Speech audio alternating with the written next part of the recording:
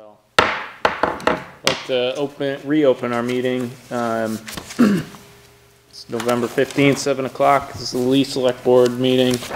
Um, Our first order of business, we have uh, open session minutes from our November 1st meeting. Do I have a motion for approval? So moved. I'll second that. Um, Any discussion on the minutes at hand? Hearing none, all those in favor? Aye. Aye. Next order of business, we have a public hearing um, for, that we've continued from the, from our October 18th meeting for a special permit application for Canna Provisions. Um, I have, it's like the per, the application, the postings.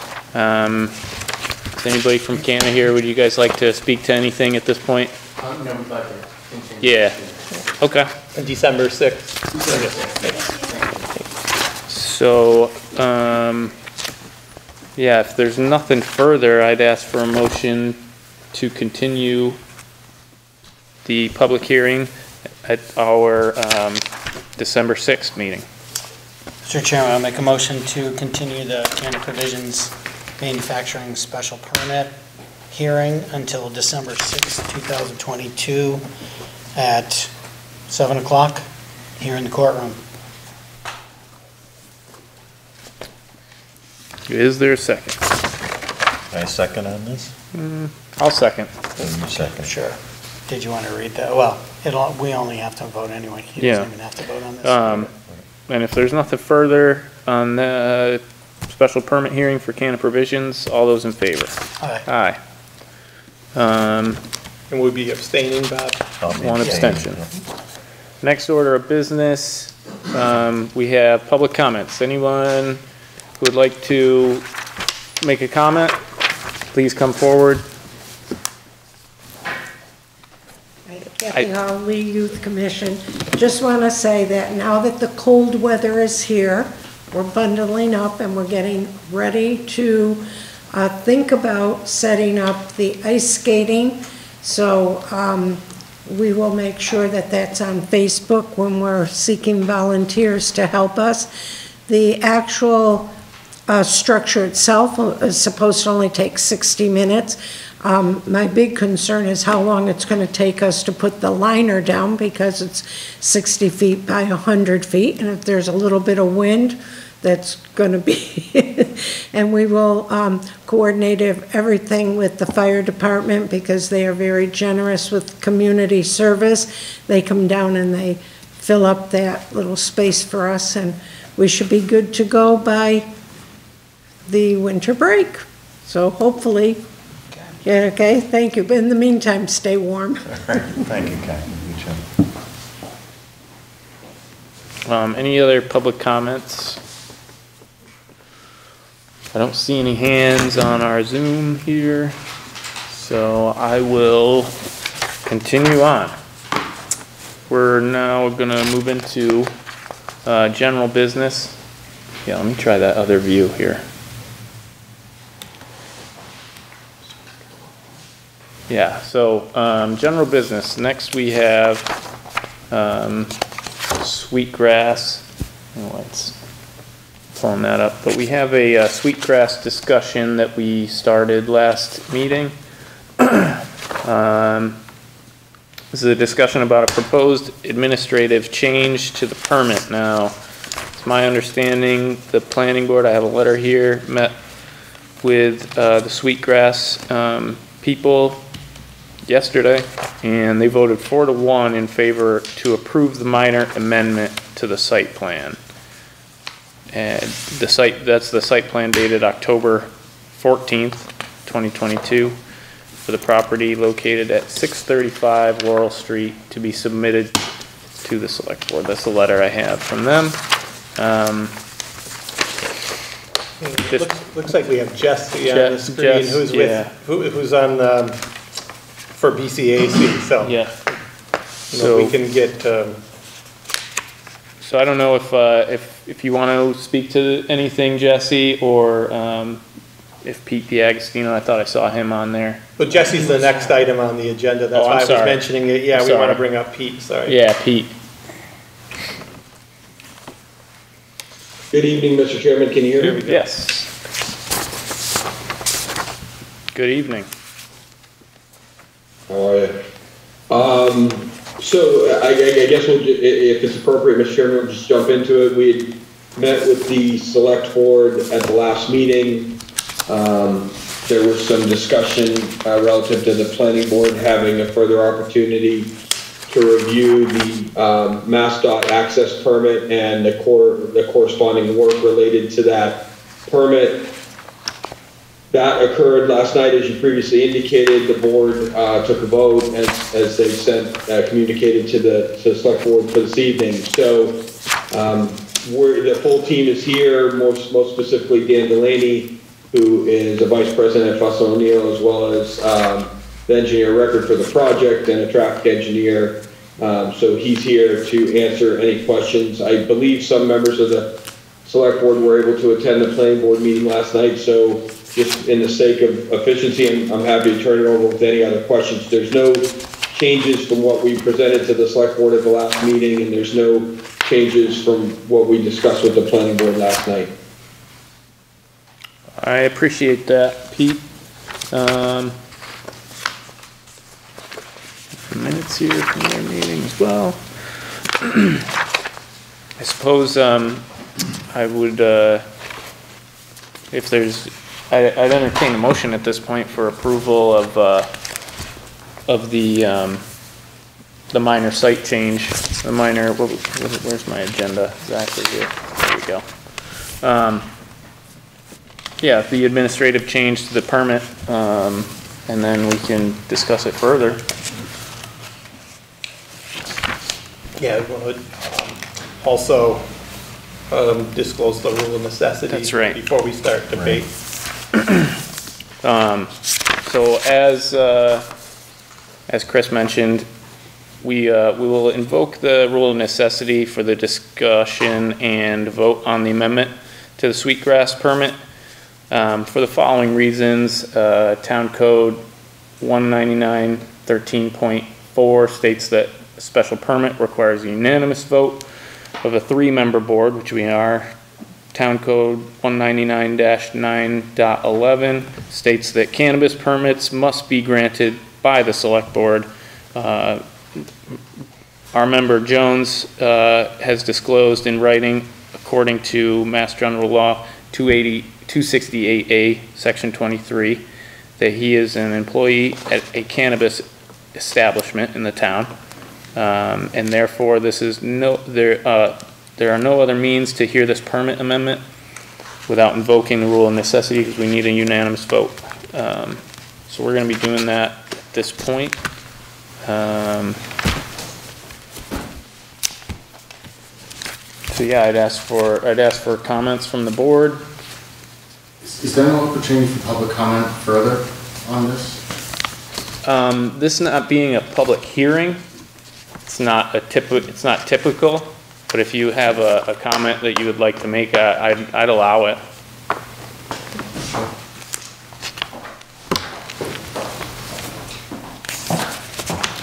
Eric Williams, I am COO and an owner at Canna Provisions.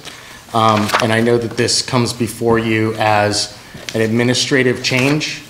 Um, Seems to be just run-of-the-mill administrative change.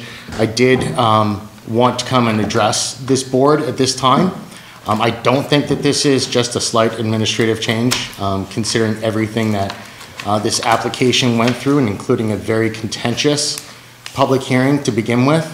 Um, I don't think this is a straight-up administrative change. This is involving two towns um, and a whole bunch of neighbors and a whole bunch of concerns. Um, I did want to express that, um, given the way I saw in the past, when there was a public hearing, I spoke neither in favor nor against this application. Um, I did provide a wealth of information to um, several members of the then Select Board on this matter, um, including real data um, that was also provided to the police chief and pretty much anyone who was asking for it. Um, As you'll recall, the police chief was opposed to this application for those reasons. Um, And I'd wanted to stress that I don't think this is just administrative change, and frankly, I think that the board made a very big mistake when they granted the special permit and when they didn't listen to the police chief, first and foremost, but also to all the neighbors on the Lee side, as well as the direct neighbors on the Lenox side who had grave concerns about this. The other problem that I had and what brought me to bring this up today is this community. And we have been great corporate citizens to this community. We are very involved, we've been great employees. Um, We've come before this board so many times, answered any questions that have ever come along. We've also negotiated in really good faith with the town of Lee, with all of the community impact fees that have come through. However, in recent months, we have had um, multiple times that the principals of this facility um, have smeared our reputation to other business owners throughout the Berkshires, not just in Lee. Um, And for that reason, I wanted to stand before you and defend our reputation, tell you that I don't think that this is just an administrative change, that this is a unique opportunity for you guys to really consider or reconsider what was, I believe, a very bad decision to begin with. And I think that you should also take into consideration the types of persons who this company, um, um, it- who, who run this company, because those persons have been smearing our reputation, and not just to other businesses within this community, but also on my personal Facebook page as well. I think it's unacceptable, and there's no way that I would let this pass without me standing before this board and publicly and stating that I do oppose this, this application for all the reasons that were put forth in the first special hearing, for all of the reasons that the police chief also opposed this. And that's what I want to say on it. Thank you, Eric. Can I say something? Yes, Kathy? Yeah. Thank you, thank you. I was at that planning board meeting yesterday, and I questioned, they talked about, and I hope I'm not getting confused with something else, but I do have my little notes from yesterday. There's something about the DOT got involved and the entrance and exit, but it was a verbal communication. The planning board never got anything in writing. So I question that, that decisions are being made without seeing something in writing, because in the future, things can change and say, well, yeah, I said that, or I did that. So I question that. And then, then the other thing that I question is, why is this company, they want, are okay from Lee, but they're gonna talk to Lenox after? I think the conversation should still be Lee and Lenox as it was right at the beginning. And they're gonna put up something like planters or something to, to separate the property and do something later on with storage. So I'm just like, I'm confused as to why there isn't something in writing from the DOT, and I'm confused as why there isn't still some type of conversation going on with Lenox before anything is decided on this entrance and exit on a very busy street. And they said something about it's not busy in the morning. Well, I've gone on that street at eight, nine o'clock in the morning, and it is busy. There's plenty of cars on that roadway. All right, thank you. Thank you, Kathy.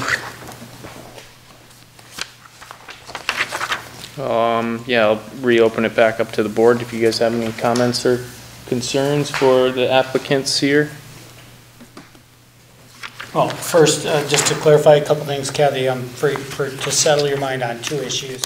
We do have a letter in writing from That's what I was DOT stating what they wanted for um, ingress and egress onto Route 20. So, so it is in writing and there's a plan with a date. Uh, But I had some questions for the applicant also concerning how this went about. Um, And I know they have uh, a representative from Fuss and O'Neill, and perhaps I can aim my uh, questions to that individual. Um, And also, I will acknowledge that I, at the time of this special permit application, I was a, uh, an alternate on the planning board, And I actually, because there was a conflict of interest there, I actually sat on the original planning board hearing. So I was there to listen to some of this. So I guess my question for, um, I think it's Dan Delaney. yeah, Dan, right? uh, Dan Delaney, Yep. Mr. Delaney, yeah, thank you very much for being here. Um, I I know that Yep, no uh, problem. you folks went for some kind of an adjustment to, or, or you said it was for an access permit. And um, prior to coming to the planning board, I, I did have a question as to why that wasn't done before you came to the planning board instead of afterwards, and your original permit from the select board. I know that, my assumption is if um, the restaurant had been sold to another uh, restaurant owner, that they probably would not have gone to DOT for anything. They would have just used the same curb cuts they always did. That, would that be a correct assumption on my part?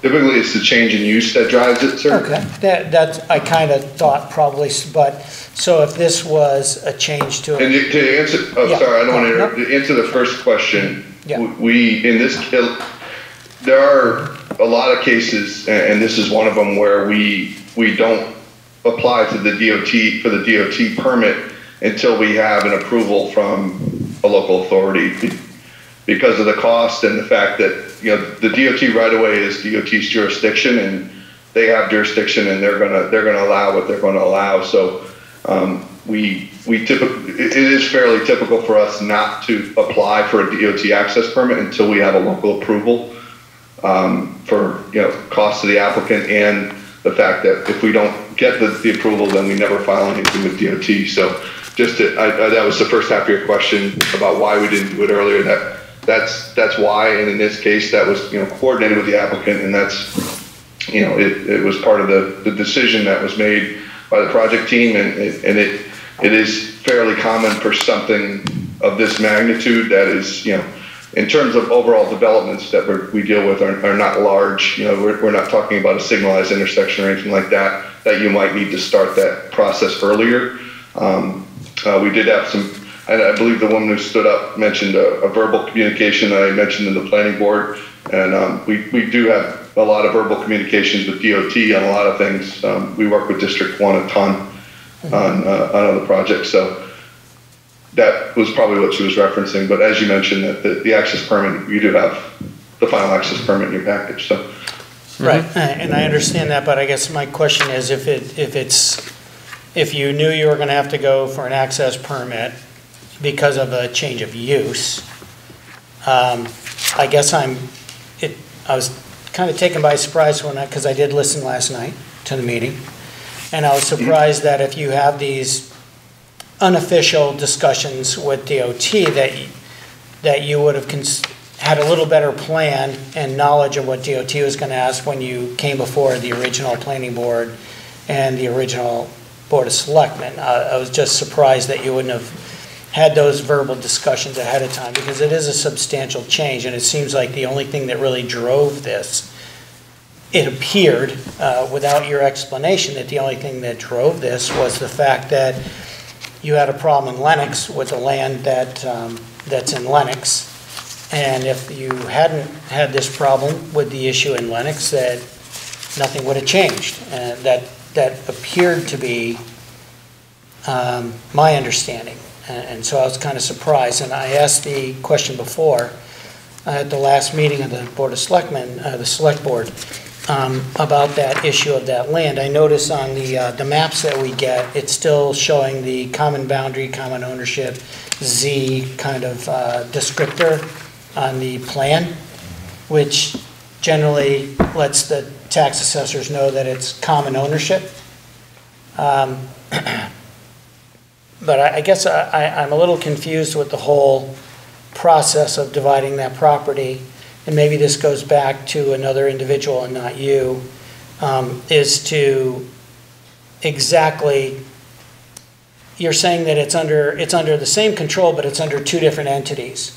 And I'd like an expla, a little better explanation on that, so that I understand um, what is meant by that, and what the, who the two entities are, and what the structure is on this, so that I understand why uh, why this is happening, because I think this has, this is part of the problem of coming so late in the game and making these changes.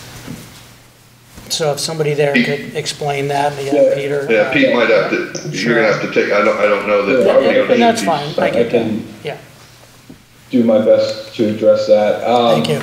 So I, I think, you know, respectfully, we're, we're making a, a fairly large um, discussion out of the Lee Lenox Town line, but I think it's important to note that on the original submittal application to the select board for the special permit and to the planning board for the site plan review, with, without exception, the Lee Lenox town line was depicted on that site plan. That, that was then, that was there then. Yep.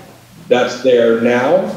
Um, it's been surveyed so that we are one hundred percent confident as to the accuracy of it. Lenox, the town of Lenox does not allow cannabis use in this zone. So the planters are to ensure that no one is trespassing onto the Lenox land. Um, it, it's an accommodation to ensure that that doesn't occur. Um, but, you know, respectfully, in a way, it's, it's almost a moot point. It was always, the, the line was always there. And, and, and, you know, we brought up that it's late in the game. That, that was in the first submittal on the first day that this ever came before any person in the town of Lee, with, and without exception. So we structured, um, so that, the only thing that's occurred since that, that line was on the map from day one is that we um, surveyed it to ensure its accuracy, and it, it actually didn't move in, in any appreciable way. The line's in the same place it was before, but it's now been surveyed. And they split off the land, um, the, the owners split off the land so that there's no confusion amongst the towns um, that they are separate and apart, and they're not considered one uh, item. And we, we discussed this uh, again at the special permit hearing in great detail when a Lenox resident raised the question. And my answer then was the same answer I'll give you now, which is we were only seeking approval from the Lee Select Board for the, for the land uh, by map and lot number that was contained in Lee. And the, and the chairman at the time acknowledged that, and that's all a matter of, of, record at the public hearing. Um, so we were very clear on this point um, from the first day of the first submittal, all the way through the public hearing, and all the way through the approval issued by the select board. Um, so I, I understand um, the interest, I guess, but I, I just want to be clear with this board um, that this was, uh, I, I don't even think disclosed is the right word. It was, it was shown on the map. It was discussed at the public hearing. We addressed this question that the Lee Select Board in no way, shape, or form was giving approval for anything in Lenox, and that we weren't, weren't seeking approval from the Lee Select Board in Lenox, and, and we're not seeking approval tonight from the Lee Select Board for anything in Lenox. Um, and the chairman acknowledged that, and he recognized that they didn't have, you know, any, you know, they weren't, they weren't taking any action relative to that land. So the land is there, uh, every piece of property in Lee has a piece of property next to it that belongs to somebody else, uh, that's not part of the project that's before the board for that property. So, um, I don't know how much, uh, I, I, I'm just trying to be super clear on this point because we have been very consistent on this, uh, from day one and the public has reviewed it, viewed it, discussed it, it was part of the public hearing. I think that, you know, getting back to what's before the board tonight was, um, the special permit relative to, to the use has, has been issued, and um, we have complied with all the conditions, or will comply, depending on which conditions they are, relative to the special permit. So I think what's before the board today is, um, and the plan now reflects the MassDOT um, access and, and how that's been amended. Um, that's what's before the board. The scope of the decision, as I understand it, uh, based on all the conversations I have, is limited solely to the only change, uh, which is the access, um, which we went before the planning board to discuss last night. So I, I hope that answers the question, um, but there's not a lot of new information here outside of, uh, actually, there's no new information here outside of the MassDOT, uh, now depicting, excuse me, now depicting the MassDOT access. And I think just to bring in a couple of points from last night, uh, the, the original traffic study as presented during the public hearing originally has not changed and, and will not change as, as a result of this access. It was, as Dan mentioned last night, it was based on um, a single exit and entry, um, and there are no required changes to the spec, to the uh, traffic study that was presented and evaluated by this board, not these board members, but by this board previously.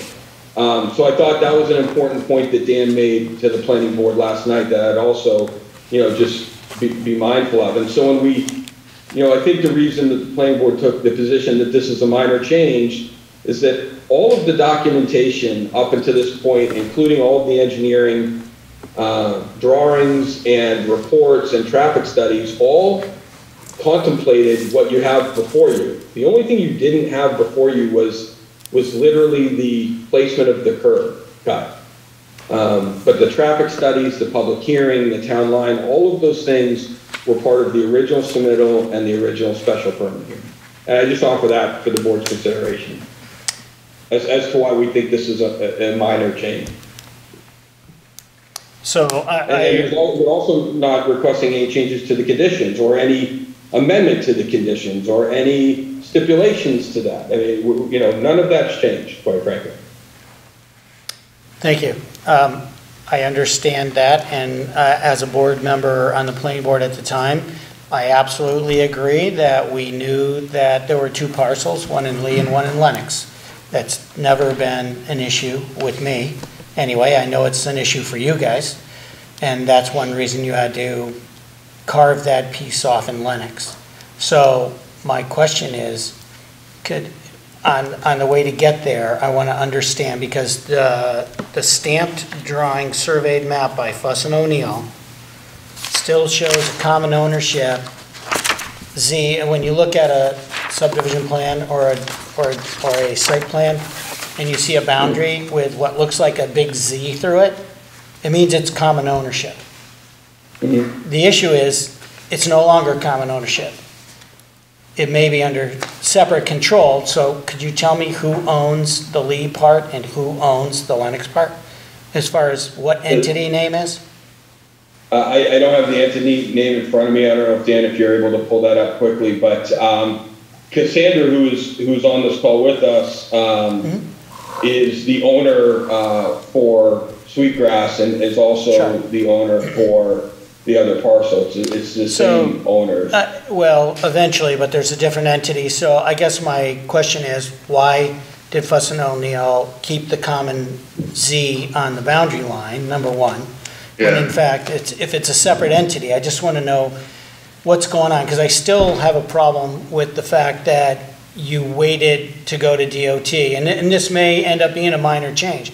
But the issue is, I want to know why you waited so long unless somebody just didn't think this through, or if somebody would just admit to that and say, we didn't think it through, that there would be a problem with Lenox. Okay, I get that.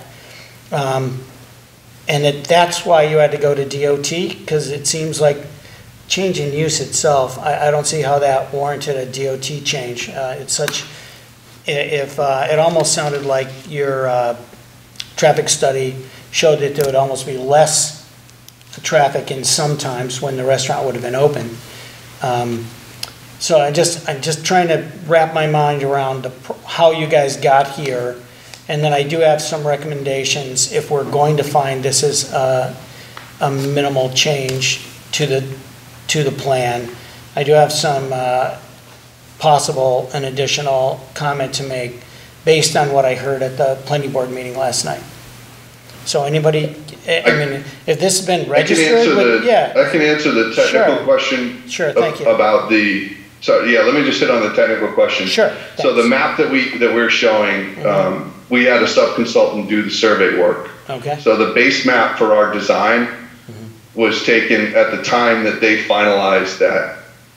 You know, Okay. uh, they went out and actually surveyed and verified the exact location of the town line there. Mm-hmm. And that's what's reflected in the background of our, of our survey. It's that most recent updated survey. Um, and at that time, that was, I- I'm not sure exactly how many months ago, but it was, you know, within the last year. Um, that survey subconsultant prepared the subdivision documents and took care of that directly for, uh, for our clients. And that work has been done. It was not done directly by Fuss and O'Neill. And um, we did not update our survey base map to remove. I, I see the symbol you're talking about, and I didn't see it until you started talking about it. And now I, I definitely see it. So I understand the confusion, and it's really it's because the last survey we got from our subconsultant was the new line or the you know the, the line Yeah. as Pete said didn't change um, but in the survey world I think it might have changed by you know a couple of tenths here here and there um, not perceptible to the uh, in terms of a plan but um, so we uploaded a new base map to our system and that's what we were using for this so it, it in terms of this plan it is a drafting uh, it's really a drafting issue so um, that's why it looks like that. But the work was done by our service subconsultant and done directly for the client. And that work was, was performed, the subdivision was done, and it was filed in the land records. I don't know, uh, Pete, if you have more information on that, I know, uh, at the No, time, no, I believe it no. was Gun- Guntlow and Associates, I believe, did the work, um, did did the work. So this is And filed, One other, one other important thing that uh, Gordon had raised that, that I think we really gotta make sure is clearly addressed. Uh, He had raised that he, he didn't think um, that a, a change in, because you're right, our traffic study does show that at times our traffic is less than that of a, a restaurant. Um, But he raised the question. Yeah, the morning peak hour, the- this traffic is less, that's correct, yep. Right, yeah, but Dan, uh, he raised the question is, did the simple change of use, does that action in and of itself require the MassDOT access permit submittal, which I understood that you said it did, but, it- but he asked that specifically, I just wanted you to address that. You know, I, I believe that that's what drove us. I know at the time that was, um, you know, Steve Severi was leading that, and yes, it, wa- and my understanding was the change in use um, is what is what drove us to apply for the permit. Mm-hmm. all right, if, um, I don't, I don't mean to Bob? hog the questions here or anything. No. Uh, uh, Okay. Yeah. I, I don't mean to, I, I have more questions. By all means. Oh, no. I don't want to cut anybody out. No, no, no, I'm listening. All right, no problem. Um, So uh, if we are, uh, having listened last night to what was going on, I, I understand, and um, the comments about it being safer and whatnot. Um, I did not listen to the very end of their conclusion and vote, was um, if we are going to go down this road and say that it's a moderate modification, there are a couple things I'd like done. One is, I think this needs to get refiled, number one, with the registry of deeds without that common boundary line on there, because if that's what got recorded, it's incorrect. If there are two separate entities, that needs to be removed. If it's two different entities, and that's why I'm asking, who owns it? What's the name of the company that owns the part in Lenox, and what's the name of the company that owns in Lee? Do we have an answer to that before I go to the next step? The, um, well, Sweetgrass owns Lee, Okay. and, uh, same people, as I mentioned, and the yeah. Lenox, um, land is Laurel Street Annex is the name of the entity, Okay. same people. All right, and that's, that's been recorded at the registry of deeds. Was this form, through the Form A and A and R process, or, or just? No. Filed deed? Okay. all Yeah, right. it's just filed deed, Okay. uh, because it, um, didn't create a new property line, so it didn't. require- Well, it did. If you have a different entity, you just subdivided it and sold it off to a different entity. I, Didn't you? I, I don't know how the, uh, the, the the surveyors did all the work and all the recording of all the, um, the paperwork with the registry. All right, well, we can follow up Sure. that later with the town's attorney to see how, how that can work without an A and R um, plan going before the planning board. So if we uh, get by that part and we just look at the entry exit, having listened to your, I won't put you through it all again, uh, having listened to all the discussion about the traffic flow and in and out and lines, I would ask you, because I didn't listen to the very final discussions, um, my thoughts at the time were that this needs to be well-marked as far as um, where a stop line is, if there, was, you know, uh, at, before a car is to enter out into the uh, DOT right-of-way, uh, almost like you're coming to an intersection with a stoplight where you have a line that goes across. And then also, I would think that we would need to require uh, for, to keep it less confusing, is to have another stripe, just like when you're coming up to a, a light on a two-way road, where you have a divider line between the in and the out, that's at least uh, car length or 20 to 22 feet back from the street, so that you make it very clear what entry-exit lines people are to use. Do you follow what I'm saying? Yep, I completely follow and I, I agree. Um, I, I think that if we were going to make this recommendation, that it's a minor change, that, um, that, that has to be part of the requirement, that we have those lanes very distinctly marked. um,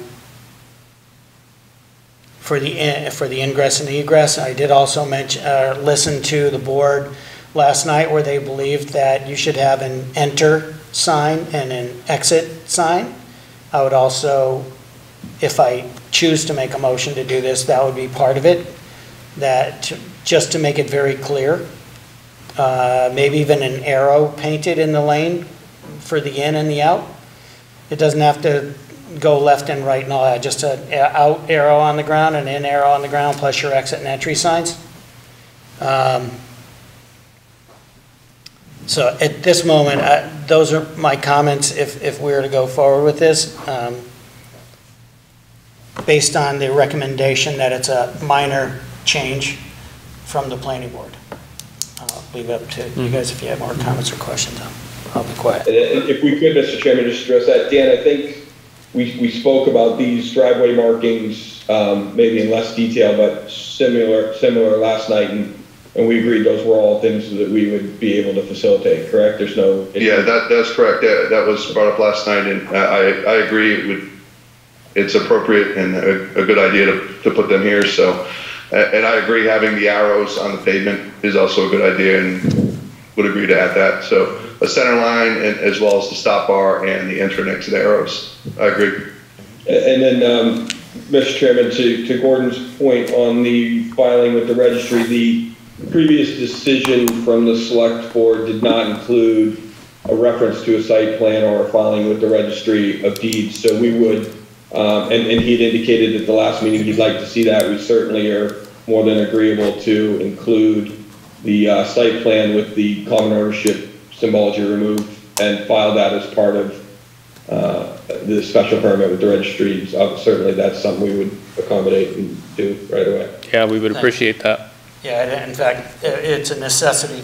I don't know how a special permit can get issued without a document being referenced and filed at the registry, but it's going to have to be this time, uh, if Yeah, if we go that way. Easily, yeah, we can easily fix that, that's no problem. Okay. Bob, do you have anything further? No. Gordon? Um, Just as, as an, uh, a matter of record, what we're discussing here tonight is a reconfiguration of the entrance, not of the permit itself. That's correct. It- It's to say that the site plan modification that they want to make is a, Right. uh, you know, a de minimis change to the overall permit. Right. It Doesn't change, since the parking spaces meet and none of the other substantive issues as far as the original permit goes is changed. It's specific, in my mind, Right. to site plan. And, Okay. and and unfortunately, I can't address the other issues. Right. Um, um, But I acknowledge them, but I can't, I don't see a way that we can address that and tie it to this particular issue at hand. And, and this, about this um, entry-exit reconfiguration is driven by MassDOT Correct. from the response when they applied for a, um, what was the, what was the terminology? change of use Change issue, uh, but- Change of use. uh, Access permit. Access Yeah, the permit, access- right. Yeah, I just, I, I just find it hard to believe that, anyway, I won't go down that road, Yeah, so, um, so. so if there's nothing further, I'd entertain a motion for approval of the administrative change. Well, I'll, I'll make a motion to make a finding that this is a de minimis change in the overall uh, special permit with, uh, by reconfiguring the entry, but also in addition, that the applicant has to file a plan. And are you going to revise, have a new revision date on this?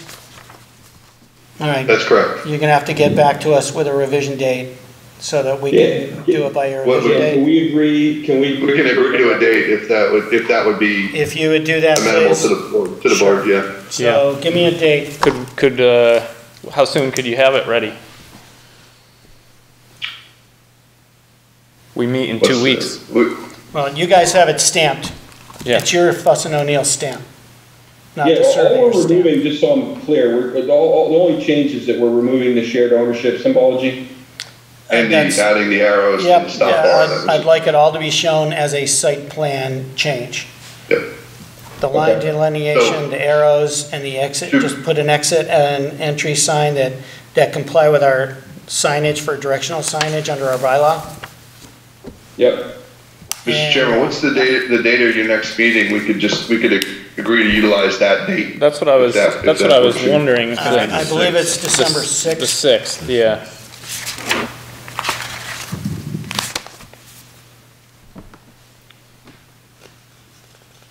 Does that, the work, December 6th, and I'd like it here so we can review it? And we can, Yes. all right, so, So we, I have a motion Mhm, at yeah. this point, um, with all that, with all those, um, I believe there was kind of three major, major points, maybe four. Removal of the common, uh, sign, uh, s- signification there, driveway markings and entry and exits, um, any signage required. and a date on a new And plan. a date on a showing new those. plan. So, um, that, so the motion was, uh, for approval of, of the As a- administrative change as a minor change. As a minor change. um, To the special permit with those conditions.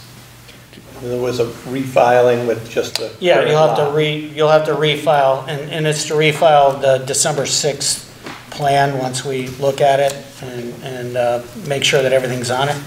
It's just showing the Lee portion and Yeah, not Lenox. yeah, we don't need the Administrative Lenox part on there. And I'm not concerned about your temporary planters, I'm I'm not concerned about that. Because, yeah, we'll, we'll, we'll- we'll certainly follow that plan, absolutely. Yeah, I, I don't know that you need to put a condition, but in either case, if, we'll, we'll do it, uh. you can no, I want it as do a, that. I want it as a condition, I want it back here. And I want to see it, Um, that would be, that's my motion. is there a second? I'll second. So, um, at this point, if there's no further discussion, Bob Gordon, uh, hearing none, all those in favor, Uh, Gordon Bailey, aye. Bob Jones, aye. Sean Regnier, aye. Um, so, thank you for coming, Sweetgrass, um, and we will see you again, I'm sure. And- and We will wait, Just so so I'm clear, uh, we just need to get the updated plan to Chris, correct? yeah, I think if you just got it to Chris, that would suffice. can We- He can it cir- from there. circulate it. Okay, great. Thank you. Thank you, everybody, for the discussion. Thank you. Appreciate it. Have a good night. Have a good night. Yep, thank you, you also. Our next order of business, we have BCAC weatherization ARPA request, and this is the Berkshire Community Action Council. Do we have somebody from Jesse? that's right, I forgot earlier, we talked about this. Jesse, Yes. can you hear me? Great, Hi. go ahead. Yes, thank you. Thank you. Can you all hear me okay? Yeah, loud and clear. All right. Thanks so much for allowing me to zoom in and join you tonight um, and just giving a little bit of time so I can explain this project. My name is Jessie Cooley, so I'm working with Berkshire Community Action Council. They their service area is all of Berkshire County, so um, it does include households in Lee. And this project is specifically working with their weatherization team. Um, hopefully you received the, the handout which broke down a little bit of the project. I'll just give a brief overview and then a little more details on residents of Lee who are waiting for this support for weatherization, and then I'll answer any questions you might have. Um, but basically, we're trying to solve a problem here that really exists across the state and across the country with uh, people who are facing roadblocks to receiving free weatherization and home heating system benefits. So it's free for people who are already on fuel assistance, who are income eligible. So this means we are working with people who are senior citizens, people who um, are low income with young children, people who have disabilities, um, and again, specifically in Berkshire County in our case. So we find that when our weatherization team goes out and performs energy audits for people, um, similar to what Mass Save does, but this is specifically through BCAC for people um, with low income. About one in three energy audits will, will come back with um, determination that the, the resident does need weatherization services. Um, to, to conserve energy in their home, to bring down their heating costs, you know, for their own health and safety, um, and, and for the housing stock to be strong. But they need some kind of other readiness project completed first. So the readiness projects that would have to be done before they can receive the free weatherization assistance are things like roof leaks or um, switching over old wiring. Knob and tube wiring is very common in Berkshire County, so that's the most common roadblock. Um, for instance, to explain why that's an issue, if you have knob and tube wiring, you cannot have your walls insulated. It's a major fire hazard. So, in order to get free insulation that's provided by the state and utility companies, the, the resident or homeowner would first have to switch over that electrical work, and that's very expensive. Other ones are moisture or mold in the house um, or heavy storage. So a lot of times that's due to people with hoarding disorder. Not always, though. It can be elderly residents that have too much stuff in the attic and they're not physically capable of clearing it out. So the contractor can't get into that space to uh, fix, you know, fix the roof or insulate the attic.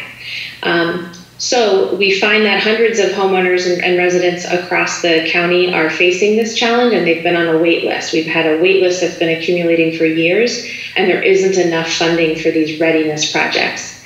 And I've been working on this now for uh, many months and the team at BCAC longer, a lot, longer than that trying to find funding wherever we possibly can. So we're working with our state legislative delegation, we're working with um, Senator Markey's team and others at the um, federal level there is a lot of money for weatherization services, which you might be aware of, but the problem is not all of it is also for these readiness projects. So there's an eligibility issue with a lot of the funding, and then there's also just an overall um, amount issue. You know, there's never quite enough funding for these types of projects.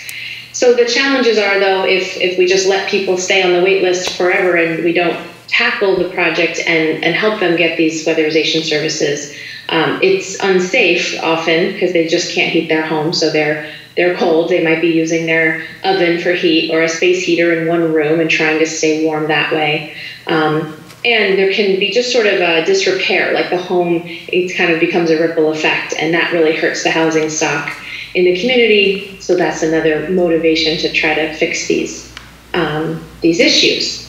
And the utility companies do provide some funding. Um, it can be typically two to five thousand dollars per home per project. So we're looking for supplemental funding wherever we can find it.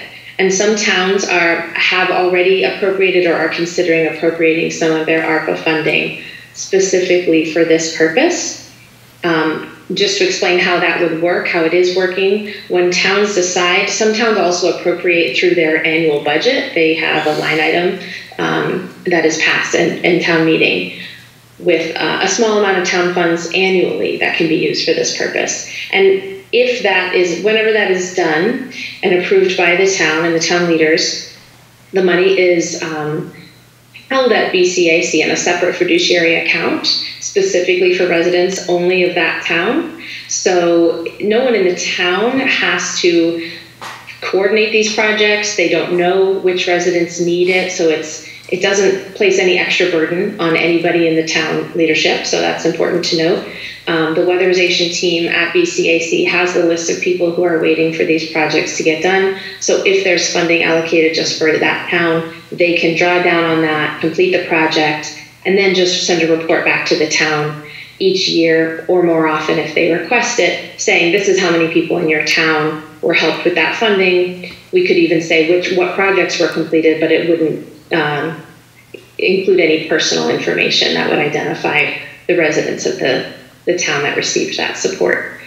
Um, and we have about 18 families on the list in Lee currently, so it's been again accumulating over the last several years. And it's um, a variety of people um, facing issues, as I mentioned, knob and tube, other structural issues. Some of them have asbestos or vermiculite that needs to be remediated, heavy storage, electrical. So there's a number of issues. Um, and I could give you more specifics on that, but um, I'll stop now just to answer any questions that have already popped up because I know I've been talking kind of quickly. Yeah, thank you for that. Um, so I guess, you know, there's a couple different numbers here. Uh, how much, uh, would you be looking for the town to, uh, contribute? Well, it really depends on what, uh, you know, what your total is that you have or what's available still. Because I know a lot of ARPA funds have already been appropriated for other important projects in the community. And that has been true across the county, of course. So it really it does depend on how much you feel you have. Um, because the truth is, the list is going to keep growing. You know, this is the season when more people are signing up for fuel assistance, more energy audits are going to be completed. Therefore, more of these projects are going to be identified as a need. So I will say that uh, the need will probably be ongoing uh, for several years, and as as much as your community feels like they can contribute, uh, BCAC would be able to use directly to to start helping uh, families complete these projects if I were to stay, I did a little bit more digging, looking at the 18 that we currently have on the list, um, seeing what the actual challenges are, looking at other issues such as availability of contractors. You know, there's a lot of different factors here and how quickly projects can be completed anyway. Um, so, if we were to look at, for instance, about seven or eight of the people on the list, those are more like ready to go, we could probably tackle them much more quickly than the entire list.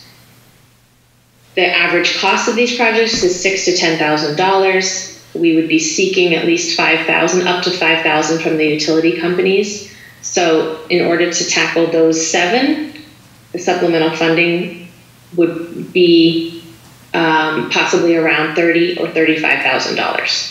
So that's a number I could throw out there, but like I said, we would make use of less than that, we would make use of more than that. It is kind of flexible in that way. We, we still have a rather good chunk of money in ARPA funds, right, Chris? It was about, Uh, a little over one seventeen yeah, thousand. okay, hundred and seventeen, that's And what, one of the things we had talked about originally when I met with, um, with Jesse was that, um, some towns are doing it on a yearly basis through, um, and I think, Jesse, correct me if I'm wrong, but most of them in the area are in the five to ten thousand range a year out of town meeting, um, to Yes. continue to, to not build up a, a, a a backlog of, of places. So, um, that is something we could consider in the warrant, similar to what we do for other. yeah, I think know, that's not a bad idea. um, So this could, Yeah. this could address, and actually, the reason why this came a little sooner is, uh, some towns have done ARPA, um, and it led several residents to calling and saying, is Lee have any ARPA? Because we heard,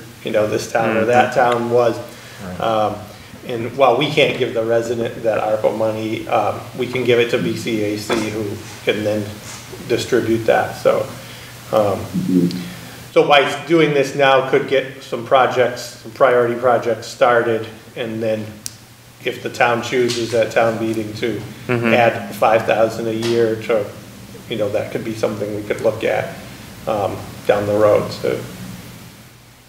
Yeah, I'm, f- I'm for, uh, I think the thirty-five thousand is more than reasonable, I'm for, uh, I'm definitely for that. Um, Bob, Gordon, you guys have any questions? So we do the comments? thirty-five thousand, then put something on the warrant.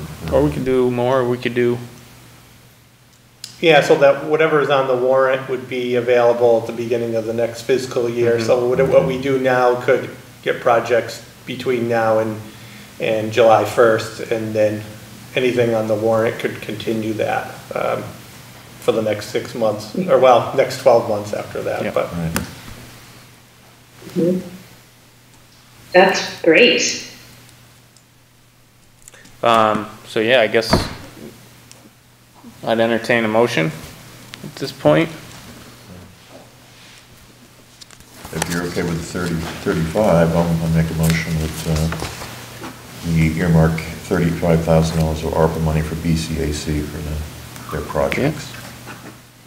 Uh, I'll second it with discussion. Um, you wanted to, I have a motion and a second. Further discussion, Gordon? Second, Yeah. No, just a quick question, Chris, uh, my math shows me that that leaves us with 82,000 in ARPA money, and I know that you said there's more money coming if it ever gets through the legislature on the second round ARPA money. That, that's, that's including both rounds. We have received that. Oh, Yeah, So so that's no longer a That- wait, so we've got it. that's, And the 82 would be the final okay. balance, yeah. So what are other things, just, just trying to Yeah, yeah. prioritize, what are other things that might be coming before us? um, That, that maybe they've applied to, you, we don't know about them yet? Yeah, so I haven't had any other requests at this point. Um, we have all of the items that are on here. Uh, More, about half of the money has been put into water and sewer infrastructure. Um, we have used some of it already with, um, the Bullseye Yes. um, project. Um, We did some work with, uh, some, some donations to some other nonprofits, uh, Greenagers, who did some of our parks, um, and a couple other nonprofits. We did some to the community garden. There was some direct money for COVID testing and Tri-Town Health. Um, um, Just kind of trying to summarize the list, but, uh, Any we money that we haven't spent yet that we're considering putting out there that hasn't been committed, I won't yeah, so there's hundred and seventeen thousand uncommitted That- right okay, now. That Yeah. you don't have any, okay. Nothing else Just making committed, sure. sure. Yep. Okay, those, I just wanted to make sure there were other, other things that, uh, Mm-hmm. that maybe we have to weigh this against, but I don't have a problem. If this gets seven projects moving, then That's great. more power to them. And if they can't get the contractors, then it can easily wait till our next town meeting to see how the townspeople feel about, you know, putting money toward this. I, I have no problem with that. Okay. Bob? Uh, there's no more discussion. All those in favor? Aye. Aye. Aye. Thank you, Jesse. All right, Very good. Wow, thank you all so much. I'm really um, excited to share the news with BCAC and know that hopefully then by the time the town meeting process happens, we'd already be able to report on, you know, some successful project completion. So um, I'll stay in touch with you. And again, thank you so much for this support. Thank you. Thank you. All right, um, our next order of business is, we have a Colonial Power Municipal Aggregation Presentation. We have three people here tonight. Uh, Thanks for being Thank you so much for your patience. We appreciate. Uh, Mark, uh, Joseph, and Denise are here from Colonial Power. We discussed a little bit. Yeah. Um, I gave them a little overview, um, but I'm sure you can do a much better job than I did of the municipal aggregation um, process, so. Mark Cappadona, Colonial Power, 5 Mount Royal Ave, Marlboro. Uh, Thank you for having us. So we- we're, we're going to be discussing municipal aggregation tonight, our community choice uh, power supply. And this is, this has to do with, with your Eversource bill and just the supply portion of the bill. And I'll start with kind of a process. Uh, Process is fairly simple, but it, it does have a couple of hurdles that need to be uh, taken. We need to accept the statute at town meeting, whenever that might be. And after that happens, the process is fairly simple from that point forward. It's simply create a plan, hang a plan, 30, 30 business days it has to be hung, and then after that, this board would vote on that plan. And then the, the real fun comes. That means we get into the state process. That means we go to the DOER. That's simply a consultation, normally takes about four to six weeks. And then we take all of this information, we put it together in a filing, uh, and we file it with the Department of Public Utilities. What does that mean? That means it's a black hole right now for about 24 to 36 months. They're taking to turn these programs around. There's some good news on that. Um, There's going to be administrative ch- uh, change, and maybe they're going to, they're certainly going to put some new appointments in place. Whether or not that speeds up municipal aggregation, I'm not certain. What does it mean to the end user? Really no change, just a choice that hasn't been there. So this current winter, um, believe it or not, uh, just today, uh, the rates for Eversource were published. So they're around 22 cents a kilowatt hour.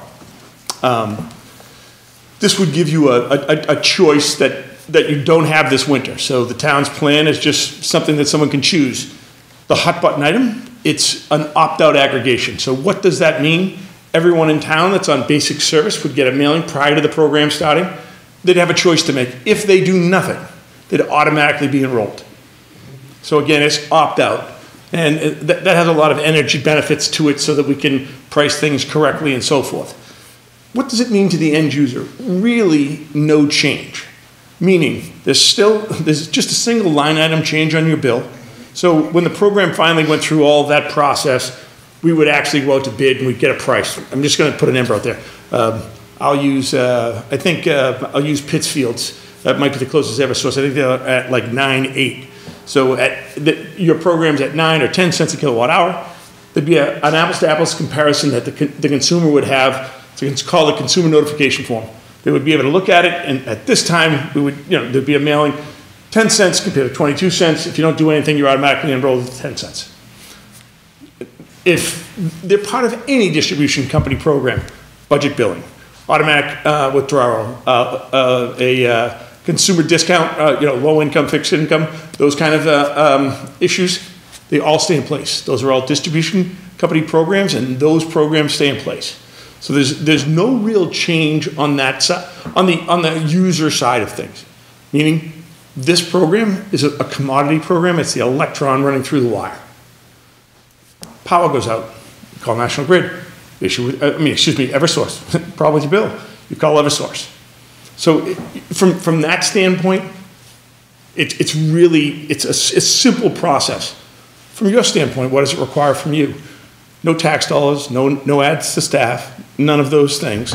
It's simply ma- making decisions. Someone's going to have to have the authority to sign off on uh, contracts and, you know, finally a supply contract between the town and, um, and the citizens. That's how it works. You bring your citizens to market, they make a decision whether they want to participate or not. I'll say that there's 15 communities in the Berkshires currently um, participating in these programs, and very fortunate that they had been out prior to this giant run-up. So it, it was a good time for aggregation. Certain communities, though, some of their contracts were a little bit um, shorter than others. You know, all that flexibility is there, so they have some increases coming as well. That's truly aggregation 101. I I really wanted to get questions from you um, so that I can make sure that it's all clear. Yeah, I think we have a few for sure. Um, I think it, part of the struggle for me is um, potentially getting the, the, the large increase in a rate all at once rather than, because, you know, if we, if we locked in a power uh, kilowatt per hour at a low rate and then all of a sudden, you know, our contract goes out and we got to renegotiate, it's going to hit everybody all at once, right? So that's, whereas it doesn't change anything in the billing, I could see that kind of being a sticker shock point for some people, you know? Yeah. Could get some pushback from that. And, and here's, here's the good news. So we all have that in Eversource right now, every six months, just because of winter and summer pricing. So for the next couple of winters, we have a little issue here in ISO New England where we're short on natural gas, mm-hmm. if you will. So we're gonna see these, not like this winter, I hope, but this is our, our largest. But you're, you know, you're probably seeing a thirty plus percent increase. You can take those shocks out. You can go, your contracts can be 30, 36 months, twenty-four months, eighteen months, just depends Right. on the curve. That's what I was gonna ask next is what, what's like the typical duration of these contracts, right? Is it anywhere from that, yeah, in that range? It really depends on the market. Right now, we would go short. We're at historic highs. We, we we don't believe that we want to buy any extra fear than we needed to. But just two years ago, we were at historic lows. So 36 or, you know, 40-month contracts were not unusual because, you know, that's one of the things most people don't understand. That Eversource doesn't do anything on your behalf, whether the price is good or bad. Two years ago, they didn't buy extra. They can't. It's, it's it's a a mandate. So they're never, they're not managing it. They're just managing a process Right. there are some decisions I'm certain they would have made, you know, knowing what the situation was, but they're not allowed to make those. And, and that's in, in part to make you go out and shop. And in my opinion, municipal aggregation is one of the tools, probably the only tool for the residential and low income, uh, not low income, but, uh, small commercial, uh, customers you and I don't really have a choice in the marketplace. Large industrials have, I don't know if, if Lee does this, but you're probably out on your town buildings and schools and those kind of things right now, and have been saving money for a long time. All of that being said, this program turns the tables on the suppliers. So we're saying, uh, us, Lee, we're, we're willing to bring our customers to the table with a free opt-out, a free opt-in, those kind of things. There's no fees, there's no penalties, it's all consumer loaded. If you don't want to bid on it, that's fine, we'll have someone else bid on it. But we don't have to deal with their terms and conditions, these are our terms and conditions. So much different than what's going on in the marketplace right now with third-party supply. Mm-hmm. Okay. Chris, did you? Oh, I was just gonna, just to clarify, you can opt out anytime, Yes. correct? So- Yes, so, so if somebody wanted to opt out before the program, that's not a problem. They could always get back in, six months later, they realize, okay, this isn't a problem. Or six months later, the, the price is, uh, for, na- uh, Eversource is below, they could opt out there and then six months later opt back in if they wanted to. Um, The other thing, can you talk just real briefly about the recs? Because the board uh, or the town would have some options as to what kind of rec credits we want Absolutely. in there, and that would affect the overall price as well, right? That, exactly. So think of it this way, just kind of a layering effect. Basically, you'd have your RPS, that's a, a renewable portfolio standard. You have to have that in Massachusetts. It's, let's just call it fifty-one percent renewable right now, twenty twenty-three. So on top of that, you could add any color green you wanted. You know, the gold standards like a Mass Class One or SREC, those kind of things have seen more, but there's other economical, um, vehicles that you could use to, um, green up your load. A National Wind product, a Maine Hydro product, all of that's gonna be available to you. So that you could have, the big deal is when, wherever you move everyone, that's where most of the people stay, but you could say, hey, for a little bit more, I can add, you know, a five percent or ten percent more mass class ones. Have the ability to opt down for people on fixed incomes, low income. And then if somebody wanted to have a hundred percent green product, they could opt up to that product as well, so that you can address anyone's needs, uh, that might be out there in the community. So the community doesn't have to do it as a whole block. Uh, Individuals will have the right to manipulate their own agreements within, uh, once the town agrees to do this. Um, Is that what I'm hearing from you? Is that individuals can have actually This choice, right? over their own opt-in? That, that is hundred percent correct. Okay. The, the town has a contract, so the people that don't do anything will automatically be put in. Right. But there's choice to move in, in between the aggregation or, or get out of the aggregation. So the people, if the town opts to go this way, every individual who gets this notice has the ability to look within their own contract, sub the town's con, I mean, they're under the con, the town's umbrella, but they'd be able to, like you said, opt for more green energy, less green energy, whatever, That is on their correct. own individually without affecting anybody else's rates. That's exactly Okay, correct. thank you. You're welcome. Yeah. I just, one clarification, no contract with the town, right? The town signs the contract on behalf of all the residents. This is just a notification. Okay, okay, gotcha. Mm-hmm. Great. Do you have any, anything further, Bob? No. So what's the step that we have to take if we want to go down this route? The first is to put it on the town warrant? We have to And have accept somebody the explain statute, it? right? Exactly. Yes, Right, okay. Wh- Which I believe I've given you. Yeah, Yeah. so I think, We it- all yeah, this that. is Yep. in the packet. Um, We would need to put this on our warrant for the next town meeting. Correct. Um, And then, And, and my understanding is that um, we don't have to put this out for an RFP or anything. Once we adopt this, we can pick somebody to just go with. We don't have to. It is go 30B into a- exempt. if Yes, That's to me, that- Yeah, yes. that's what I'm trying to get to, is just make sure that we don't have to go through yet a year-long procedure to decide to go with somebody. I mean, we can just pick and go. so when this first came out, the county, um, Colonial Power won the county-wide request for Okay. proposal. So all the, all the towns in Berkshire County are with Colonial, Okay. and that process has already been done on behalf of all the towns. So I believe you said there's 15 towns that are doing, That are 15 are are currently participating. right? Okay. And that doesn't expire, that particular issue, so that we don't have to go back out? I mean, Right. that's going to be in place for a while? Well, that's in place, but it's also thirty B exempt anyway, Okay, so. anyway, anyway, okay, all right. And, uh, I'm just trying to figure it out.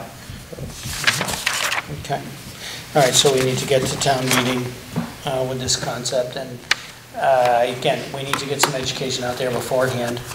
Yeah. Uh, So we'll have to be maybe having them come in for a special meeting to, uh, to get everybody in town aware of what's going on.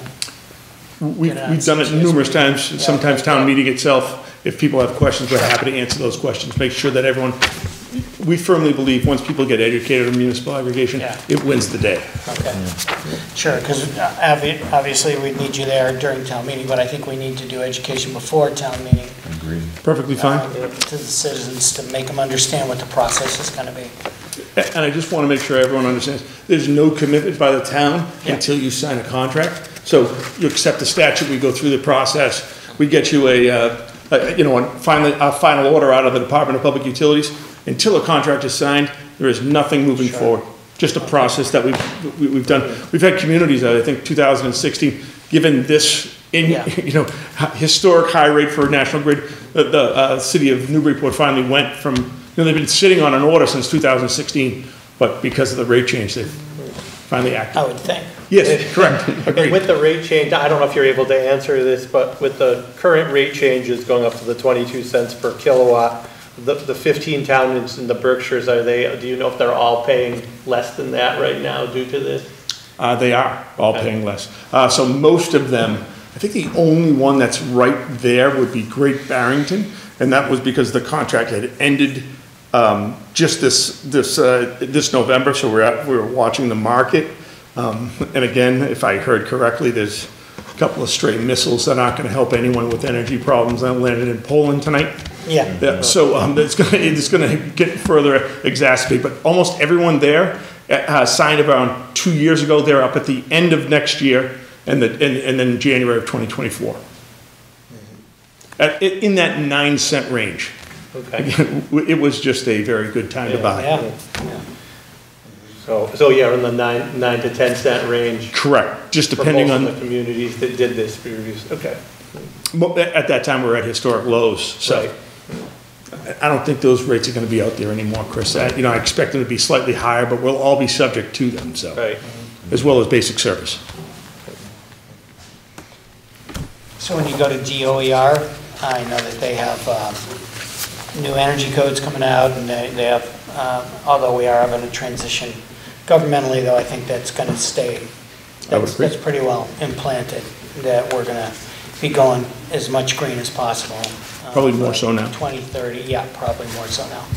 Um, So you don't see any problem with them, and, and you're hoping that DPU just gets some new people in there to work a little faster? Correct. Uh, I can tell you, uh, it's my business, so uh, the the governor-elect has Yeah. been a a tremendous opponent to third-party supply. She's trying to shut it down for you and me, what I'll call door-to-door and individual mailings. She'd like to shut that down. Yeah. She is also a tremendous, uh, you know, uh, uh, um, a proponent of municipal aggregation. She loves it because it gives local control and- and allows you, the- the cities and towns, to meet your own uh, energy goals. Okay, all right, thank you. You're welcome. Yeah. Thanks for the presentation. I welcome. think, yeah. Thank you. thank you guys for your patience. I'll be in touch. Thanks, Sean. All right, Yeah. yeah, thank you very much. Thank you. All right, um, so we'll be looking to put that on the town warrant, I hope. Seems that way. Our next order of business, I have an appointment here, um, to the applica- Appalachian Trail Committee, uh, Community Committee. It's a bit of a tongue twister. Uh, Trish Johnston. I have, um, a letter of interest here, so I'd be looking for a motion for approval. I move we appoint Trish Johnston to the uh, Appalachian Trail Committee. I'll second that. Uh, if there's no further discussion, all those in favor? Aye. Aye. Aye. Question is, is there a limit to, to this, or what's, or There's not a- really? No, right now it's just an ad hoc committee Gotcha, for the okay. application. Once, um, the application has been approved and we become that designation, we'll be um, hopefully making that a standing committee. So, which is part of the, one of the conditions of the, to be, to be the uh, Appalachian Trail Community designation, we'll have to have a, a standing committee, but Does that mean that we should, uh, that we would need to have a vote at town meeting to adjust our corporate bylaw to spell out a number of people or whatever? How, how do we work that? Yeah, so once we, um, it's probably gonna be another year or so, but it- Okay. until we know that we have the designation. Sure. But once we do, we would, we would wanna add that have by to bylaw, yeah. Great, thank you. So, and most likely, um, you know, hopefully most of these people would still be interested in doing that. So, um, they've done a great job so far and Great. the application is in, but I understand there's gonna be an interview process and, um, some other follow-up, Interesting. follow-ups before the, um, the designation and that, I, so we're looking at at least, you know, it, it could be six months to a year before we hear Okay. the official results. So possibly by this town meeting, but mm, more likely twenty-three, so. Okay, thank you. Um, next order of business, there's a gas permit. Um, this is for the installation of a new gas service at one twenty-seven Paul Drive. Looks like I got a dig safe number, competent person, signed by DPW and Police Department. There's a map here. So, Paul Drive, yep. So this is like all the way at the top there. Just- And so they have to actually, are they going under the road? They're actually digging the road? I road? think they, they're hopefully, you know, there's a note here, usually always is, to attempt to bore all blacktop areas. Great. So that's always the hope, but sometimes it's not possible, Well, if they can bore that, that's a plus for us. right? Um, I- I'd, I'd make a motion that we, that we approve the um, installation and new gas service at 127 Paul Drive. I'll second it. Um, if there's no further discussion on the gas permit, all those in favor? Aye.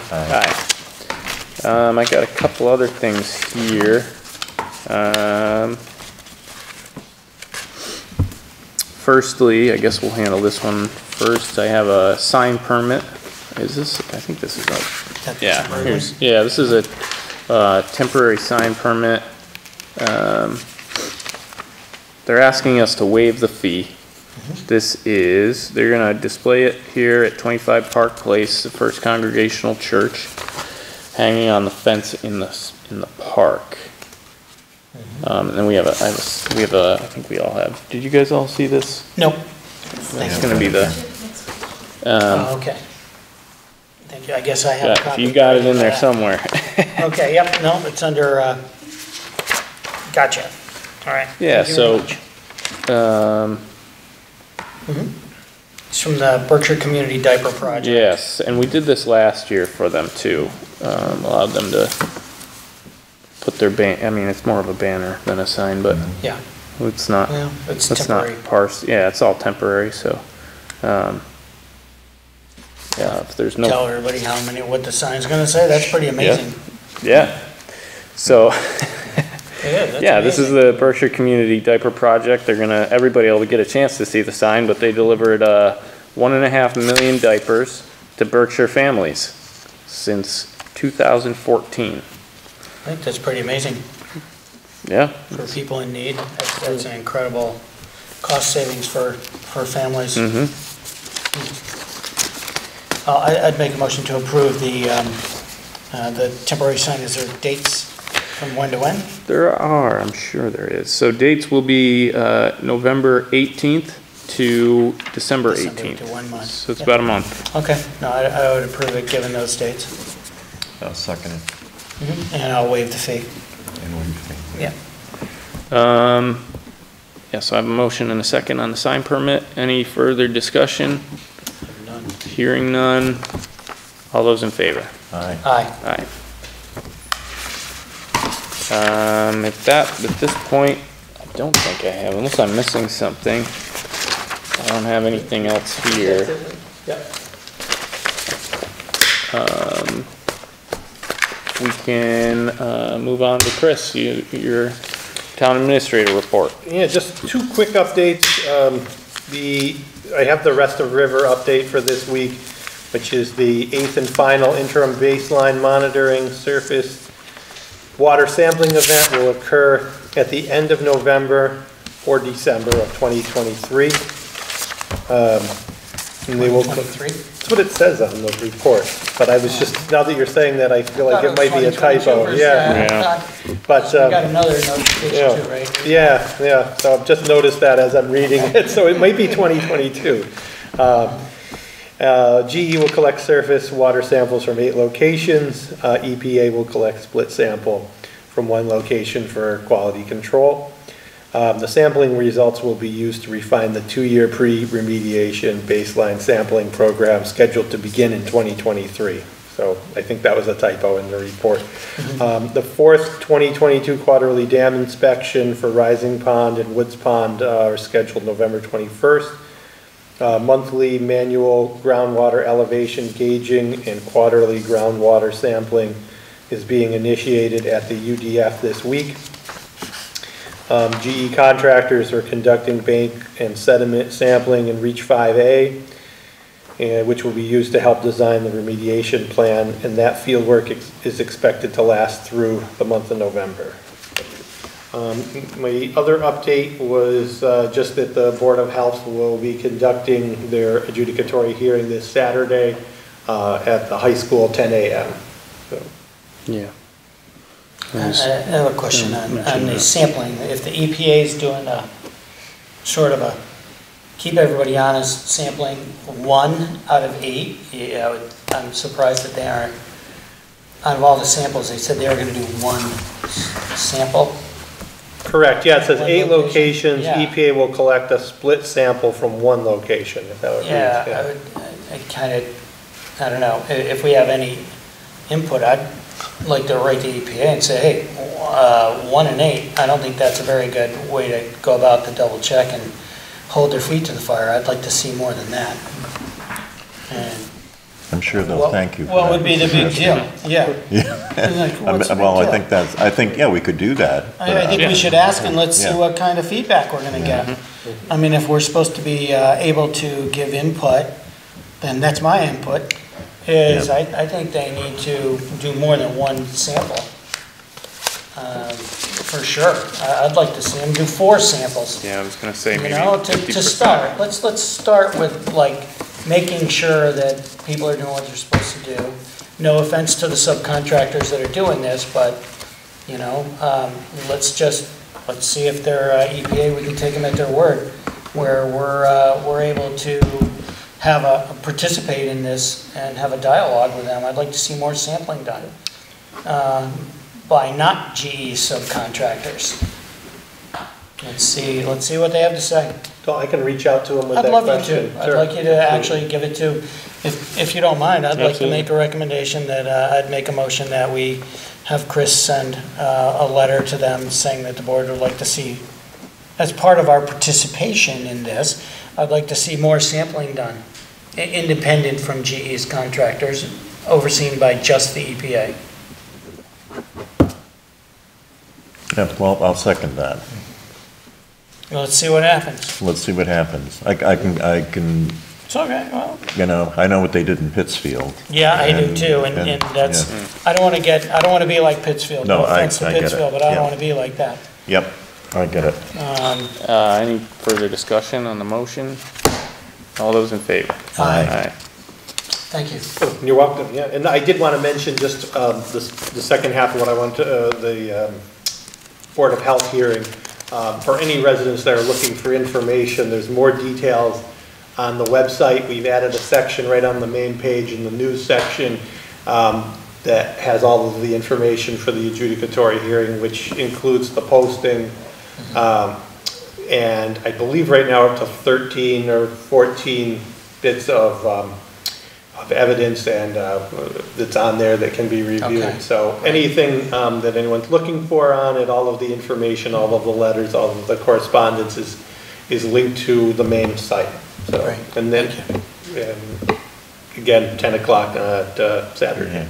I think we, we can remind people also that this is a, this is not a Board of Health meeting, this is a hearing.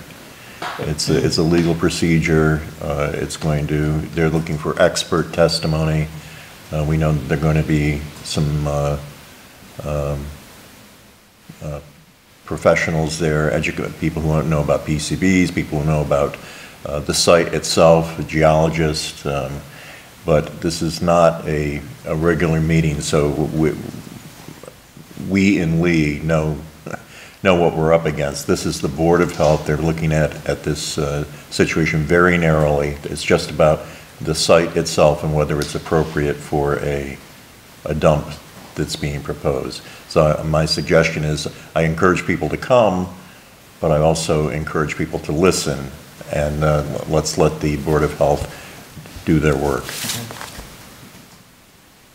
Thank you. Thanks. That's good. Well said, Bob. Um, Chris, if you, if there's nothing further, Um, no. Nothing else. our next, uh, meeting is the sixth of December. I'd entertain a motion for, to adjourn. So moved. I will second that motion. All those in favor? Aye. Aye.